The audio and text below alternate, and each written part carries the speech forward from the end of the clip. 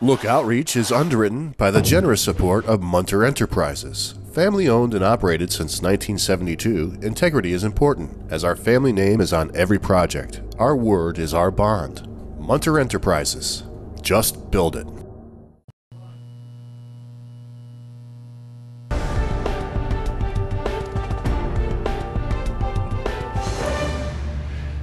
Welcome back, everyone.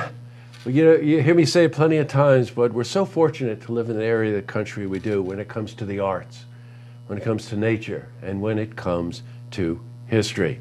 And joining me today is the superintendent of the Saratoga National Historical Park, Amy Bracewell. Welcome, Amy. Thank you for having me. Oh, you're quite welcome. Great to have you here. Uh, let's maybe put this in perspective a little bit. The Battle of Saratoga, in the opinion of many historians, may be one of the most important battles in the history of the world. Well, that's a kind of an interesting claim to make, wouldn't you say? It is. I It know. is uh, amazing to have this in our backyard, but what important history of America took Mm-hmm. place right here. right here in Saratoga. Isn't that something? Um, well, now we dig into this a little bit. I know we've all heard of the Battle of Saratoga. Uh, the reason that they're saying it's one of the most significant battles in the history of the world is that it was the turning point, correct?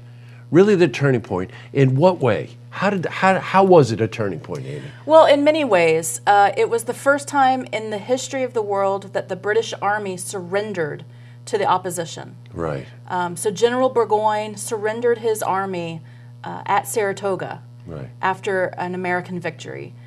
And after that, uh, because of the victory, it convinced France to get involved in the Revolutionary War on the American side and really gave a boost uh, to our support. Right. You know, uh, General Burgoyne, by the way, was traveling down. He was coming down from the north. And the reason he was moving the army from the north to come south was basically to form a divide in the American right. troops between New York and New England. Right. So, and nobody, he fully expected that he would be able to do that. And here come the, Americans. Yes, Right. our Continental Army. Our Continental, that's, what, Yes. that's the word I was searching for there. The Continental Army said, uh, unfortunately, that's not going to happen. Now, uh, Saratoga, th- were there two battles? There were. Okay, there were, what there were was they? a battle in September and October of 1777. Right, and the combination of the two of those is what caused this to be the turning point in the war. That's right. And another point that you made, which is very important, is that the uh, the army couldn't do it on their own. The Continental Army, they really needed France, and France was hesitant to join because they didn't think that they could pull it off. And then all of a sudden they did, and they came in, and that really, of course, changed the tide of history. Absolutely. Right? Isn't yes. that something? Um, now, uh, I've read it uh, at different times. About 1,500 soldiers lost their lives between the Continental troops and the English. Is that is that right? I believe so, yes. We have historians at the park that um, are very knowledgeable about these things and um, have also done the research into each regiment of the Continental Army and, and who they lost Right. and the sacrifices that many of our states made on behalf of the larger country. Um, my wife and I go through the park frequently. It's there's some there's a solace about this park, and you also really get the feeling that you're on sacred ground. You know. Um, yes. Now the park itself is like almost 3,000 acres, Mm-hmm. right? Uh, right outside of Schuylerville, 3,000 acres. You just got another additional 170 acres. Yes. Right to the north. That's adjacent to this this property. It is. Uh, but when you're on the property, there are a number of places, lookouts. What would you call those? Stops? We have, yes, 10 tour stops on our tour road. And at each stop, there is something significant related to the Battle of Saratoga or the history of our country. Um, I'm thinking of that beautiful red cottage that's there. Yes, the Neilson House was there at the times of the battle, Right. and was uh, right in the center of the American camp uh, during that time. And then the tour road follows the progression of the battles uh, as it uh, unfolded on the landscape. And there are two fences that seemingly are in the middle of no place, right? You know what I'm talking about? And but they their designations for where the front lines were for the British and for the Continental Army. That's right. There's a blue uh, That's right. identified fence line and a red fence line for both sides to show you where those front lines were on the, the battlefield. And uh, back then, of course, you know, there was no technology. Uh, it was sight, so you would get to a promontory point. That's why so many of these lookouts or stops along the way of this tour are just stunning. You cannot believe the vistas of the valleys and the river, but it was to get gain a military advantage. That was it, right? No stealth, no nothing. Yes, they were done. Radar. they were done strategically, uh, looking Right. over the Hudson River. There's a natural bottleneck also Right, at that's that right. place. Uh, where the Americans had the upper hand to see anything coming down the Hudson or on the road. Right. Well, this is this that turns the tide of the battle. It really does.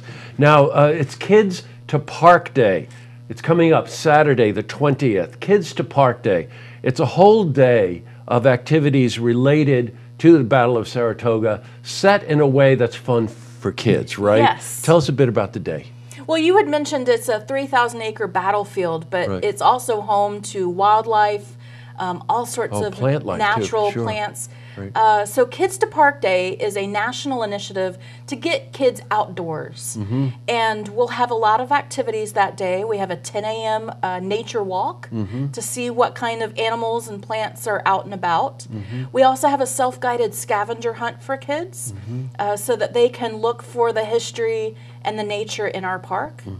And then we also have a, a self guided activity book, our Junior Ranger program. Oh, that's exciting. And if they finish the book, uh, they'll earn a free Junior Ranger badge. Can I get a Junior Ranger badge? Can I if you get one? earn, if you earn the act, if you earn it. They can say, "Who's that old kid over there?" right? Um, you know, the, you hear me say this a lot, but it's a wonderful opportunity. Take your children, take your grandchildren out to uh, this really sacred place. Uh, you really have to go if you haven't been there you really have to go to see how spectacular it is.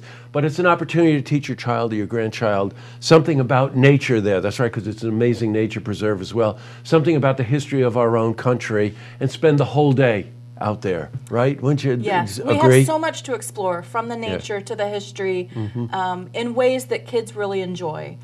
Well, you know, Amy, we're going to have Amy back again because all summer long uh, they have activities going on. They have reenactments of battles there. They have all kinds of things. You have craftsmen out there during the summer. You have all kinds of things. We do. We have living history events uh, throughout the summer. We have something almost every weekend Right. from now until October. Um, so we encourage people to come out often to see Mm-hmm. different aspects of the park. A great way to find out about this, NPS, which stands for National Park Service, right? Yes. nps.gov slash SARA for Saratoga. nps.gov slash Saratoga, and you can find out about all the activities. But get out there on Saturday the 20th with your family and really begin to understand why this place is so significant. Amy, pleasure to meet you. Look forward to having you back again Thank you so over the summer. To see this interview again, you can head to our website, looktvonline.com.